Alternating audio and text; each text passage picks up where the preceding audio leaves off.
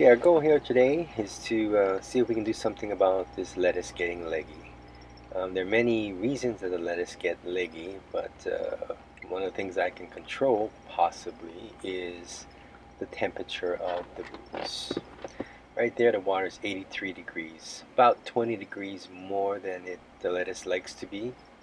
Outside ground temperature, about 115 degrees, so that's about 50 degrees hotter than it's normally used to. There are many causes to leggy, lettuce becoming leggy. Uh, some of it being too warm, um, or the roots being too warm, uh, too much uh, nutrient concentration in the solution, too much oxygen, and of course everybody's favorite, uh, not enough light or overcrowding. Uh, I don't think it's a light problem or an overcrowding problem, and I cannot control the temperature outside. What I can control, though, is, well, what I can attempt to control is the root temperature. So we're going to make some recirculating uh, seedling tray bins and see if we can bring temperature down. This bin right here is a mixing tub for cement mixing purchased at Home Depot. First off, to figure out the height we want to cut the bin at, I just used a block of steel and taped a sharpie to it, drew a line right around. A few ways to cut it. I think I used a circular saw first, that worked really good, but now I'm going to try the, um, the jigsaw. After doing both, I say the circular saw is much easier to cut a nice straight line, but the jigsaw might be safer and easier to cut around the corners. So just gonna go and cut it here and get back when we're done.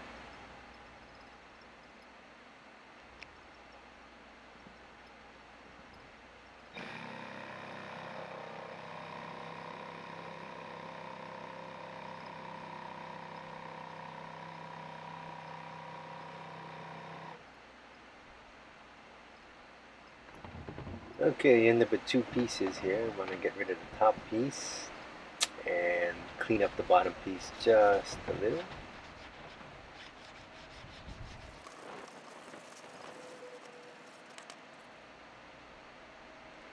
Next thing, we need to add some ports. Uh, one for an overflow and the other to move the fluid from this tray to the other tray.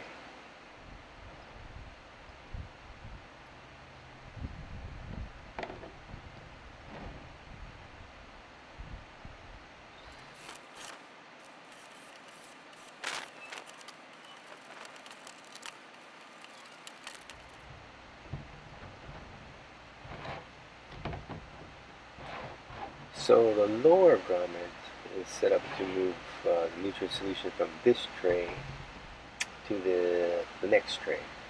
Uh, the higher one is just an overflow in case, uh, I guess it gets clogged. We don't want it overflowing all over the table. So here it is all set up. We got the uh, bucket full of nutrient solution and the uh, nutrient solution being drawn into the first tray. All we got is a PVC tube, a T, and another piece of PVC tube with an air stone and hose. So the nutrient solution is being lifted up in the tube and also being aerated at the same time. It's being dropped off into the first tray, which I made slightly taller than the second tray. It gives me some height variation to play with when I put the seedlings in. When it fills up, it should drain into the second tray via gravity, and in the back of the second tray, we have the return to the bucket. So I'm going to let this fill up here. There we go. Looks like we're nice and full. We're getting good flow from the bucket. Nice agitated, aerated uh, nutrient solution coming into the tray. Hopefully it'll be a little cooler know, we want to try and get below 80 degrees. That's probably not possible, but uh, I'm sure the plants will appreciate one or two degrees. Okay, we're all full now. We got all my seedlings back in here.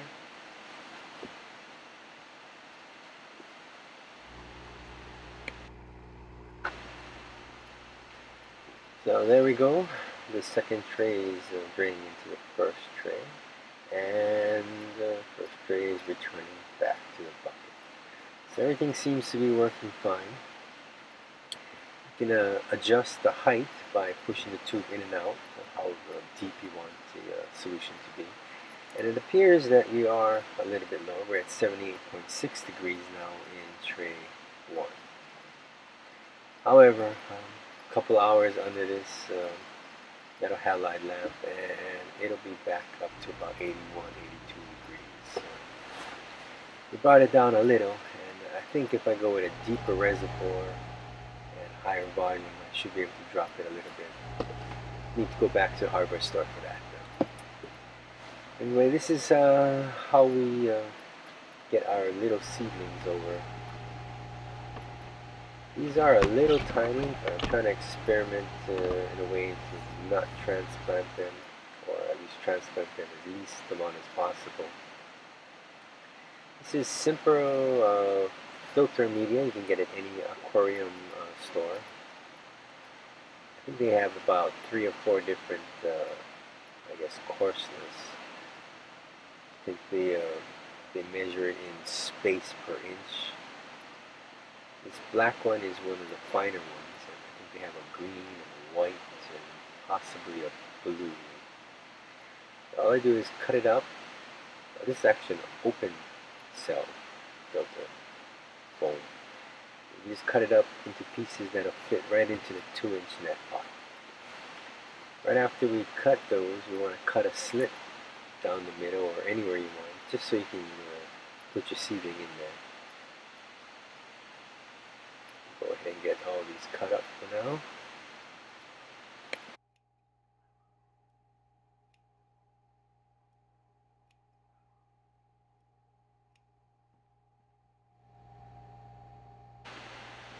We take our seedlings from these Jiffy pellets.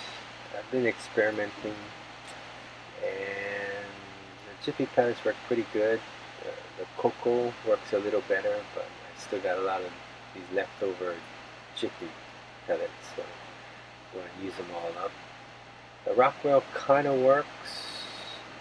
However, I think the rockwool leaves it, uh, it just absorbs too much water. It slows the uh, growth down a little bit. So I stick with either the Jiffy pellets for now, and after I run out, I'm going to go all to the cocoa.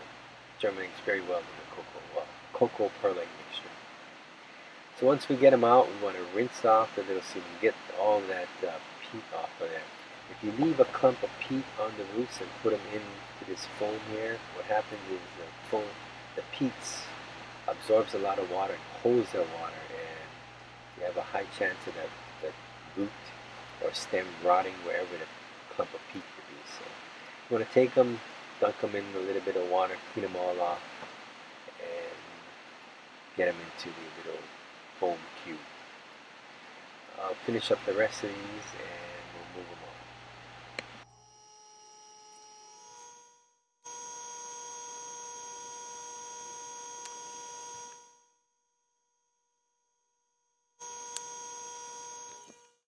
Okay, once they're all in these little foam cubes, you just plop them right down into your nutrient solution. They float right on top. If you've uh, adjusted the height as you put them into the cubes, the roots should be right in the solution and the stem should be nice and dry. That way uh, they won't rot. If you get the stem too low, then you run into a problem. If it's too high, I haven't found it to be a problem yet, but uh, uh, these work, so I'm not going to mess with it.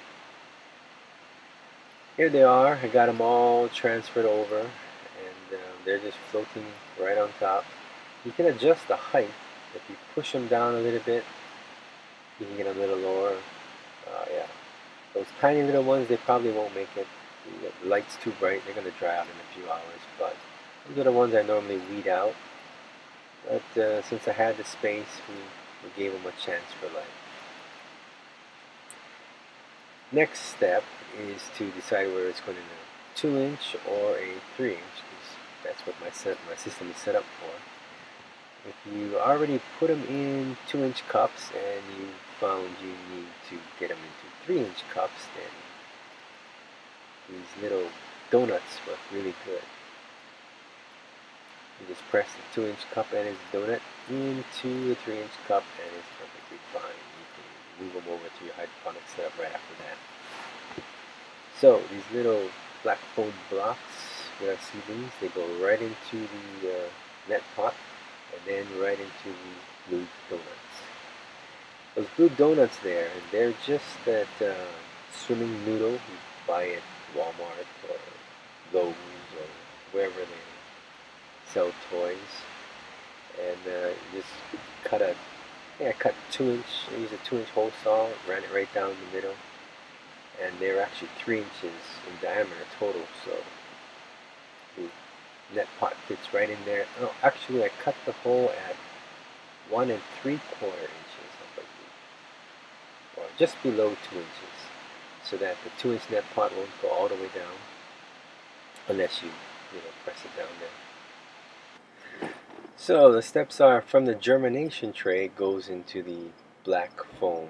From the black foam it goes into a 2 inch net pot and a blue donut or pink donut, yellow donut, whatever noodle you pick up. And then from the uh, the net pot and donut, it goes into those styrofoam trays there. The idea is to slowly raise the height so it gets ready for the, uh, the system outside. Again, you can raise and lower the height you know, just by pressing them down. And you, they're open cell uh, filter foam, so you press them down, they'll absorb some of the water and they'll sink back down. And if you need to raise them back up, you just shake off the water. Sometimes you gotta actually put them on the side and dry it out a little bit and put it back in there and they should float like you, just like when you started so this uh, ends another experiment by the garage shop garden. Uh, hopefully I can bring the temperature down a little bit and make it more pleasurable for my lettuce. If not it's just another experiment